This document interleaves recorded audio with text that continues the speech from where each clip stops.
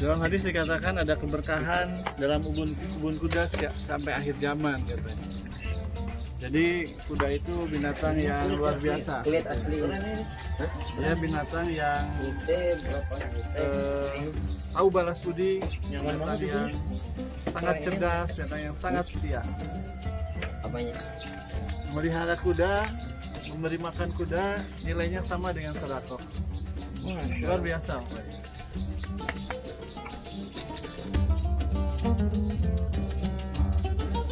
Eh, kang, kang, kang, ntar dulu, kang.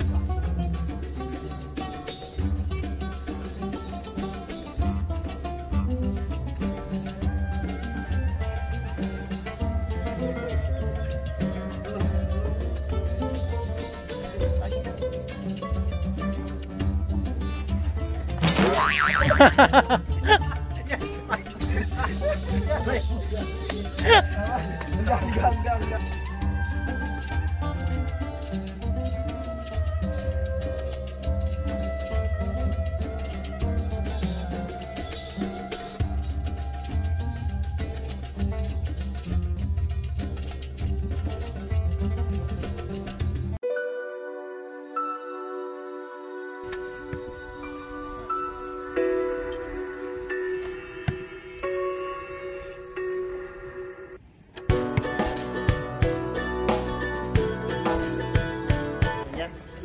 tampil berkuda kita udah nyampein berkuda nggak gampang ya. Tapi setelah ini beliau sambil ke mana kostum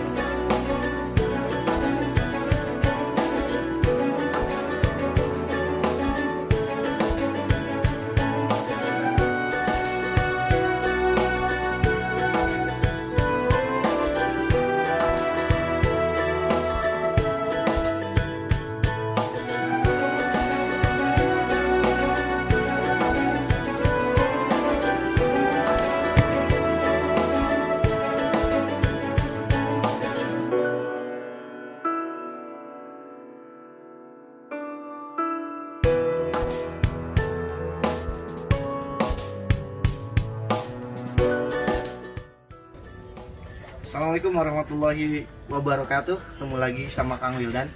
Kali ini Kang Wildan mau bagi-bagi tips lagi. Ya Udah lama ngebagi tips. Salah satunya tips bagaimana teman-teman itu memilih lahan Atau memilih properti.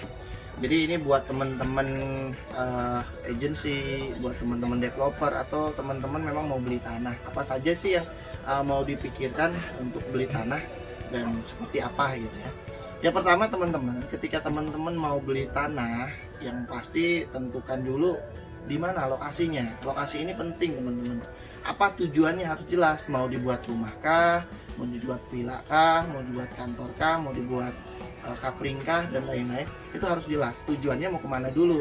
Ya lokasinya juga di mana. Setelah itu mentargetkan lokasi-lokasi yang ingin teman-teman beli gitu. Nah biasanya tips saya ketika saya misal saya dari sisi developer ya mau ngebeli lahan biasanya saya uh, canvassing bahasa saya itu. Jadi menpek lahan-lahan yang ingin beli misal oh saya pengen beli lokasi di kota Bogor di sekitaran Bubulan. Biasanya saya searching dulu tuh, searching dulu di uh, media sosial, di marketplace, di media-media lain yang sesuai dengan uh, tentu harganya ya, yang sesuai dengan budget kita, yang sesuai dengan luasan kita, yang sesuai dengan kebutuhan kita. Misal kebutuhannya mau bangun peliperan, luasannya di bawah 500 meter, memanjang dan lain-lain, harga di sekitar satu jutaan. Nah itu teman-teman harus tetapkan dulu seperti itu.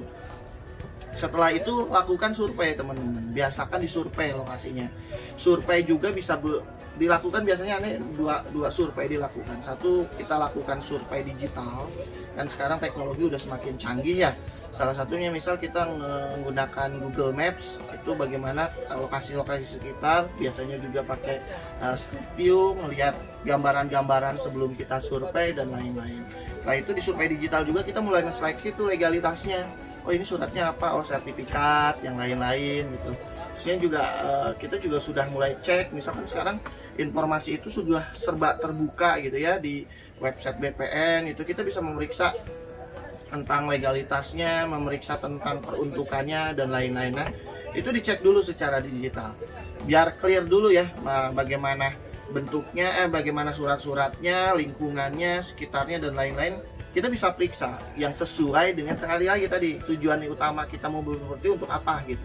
Terusnya biasanya juga kita ngelihat pasom uh, fasilitas sosial di lingkungan tersebut ini dekat dengan apa? Oh dekat dengan mall dekat dengan langsung nempel angkot dekat stasiun dan lain-lain. Itu yang buat kita uh, ambil gitu. Yang data-data yang banyak banget di, kita ambil. Sekali lagi ini hanya tips beda-beda. Nanti kita akan pelajari lagi lebih lengkapnya di sesi uh, video ya. Nah saya akan buatin slide-nya cukup banyak ya bagaimana mencara survei tanah gitu. Ini yang penting sesuai dengan kebutuhannya yang pasti uh, sesuai peruntukannya keamanannya dan lain-lain.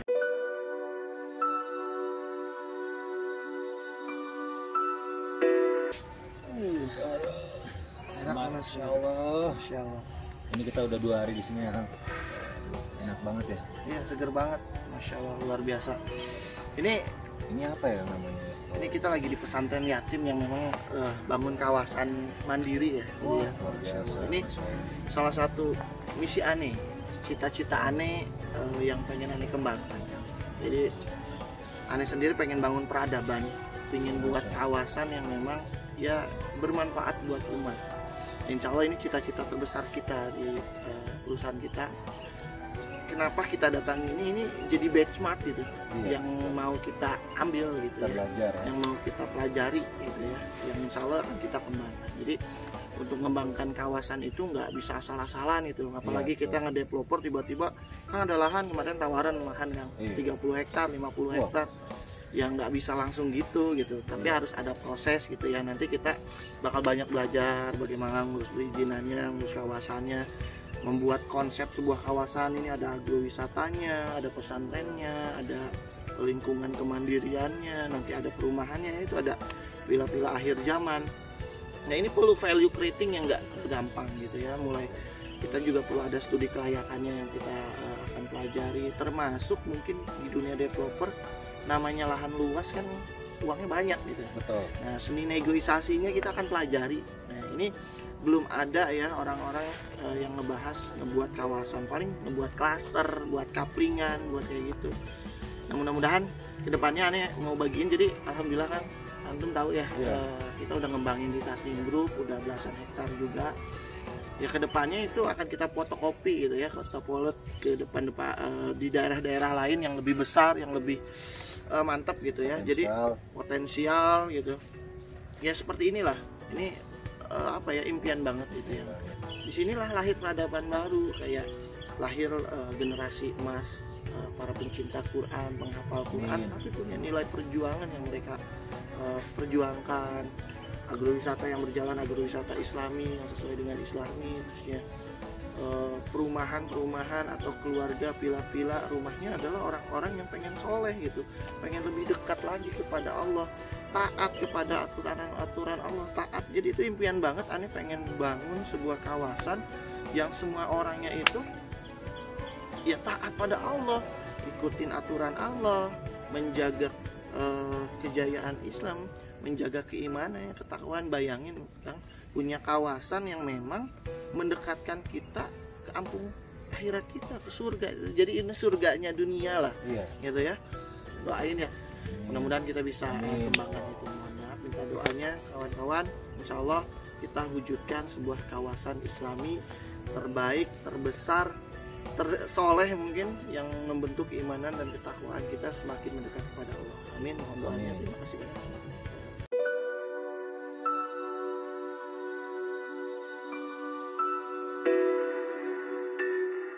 Nah ini ada kawan termuda kita namanya Bang Indra. Ini potensinya luar biasa. Beliau ingin berkembang masih muda banget baru nikah ya. Ingin ingin udah punya istri sekarang. Jadi beliau tuh sipil nih ahli sipilnya yang ngebangun desain-desain.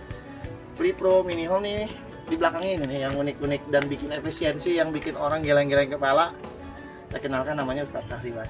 Yang selalu ngerekam di belakang layar itu sebenarnya ada kawan saya yang luar biasa namanya Bang Reja di Patu Group beliau eh, bagian markom marketing komunikasi yang memang komunikasi kita ya terutama di video editing buat video yang pelatihan pelatihan selama ini. Pokoknya di belakang layar deh.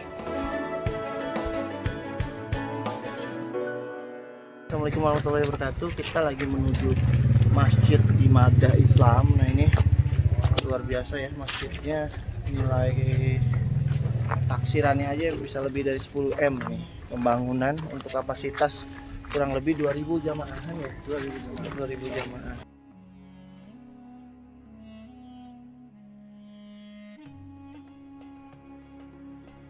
Ya alhamdulillah dari program donasi ya bersama-sama.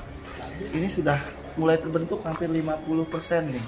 Ya mudah-mudahan teman-teman rekan-rekan bapak ibu yang pengen mendapatkan amal jariah yang terus mengalir selama masjid ini terbentuk dipakai buat ibadah dipakai untuk mengaji dipakai untuk menghafal Quran pahalanya akan mengalir kepada bapak ibu nah kita eh, silakan dibantu donasi barangkali bisa gimana caranya Pak?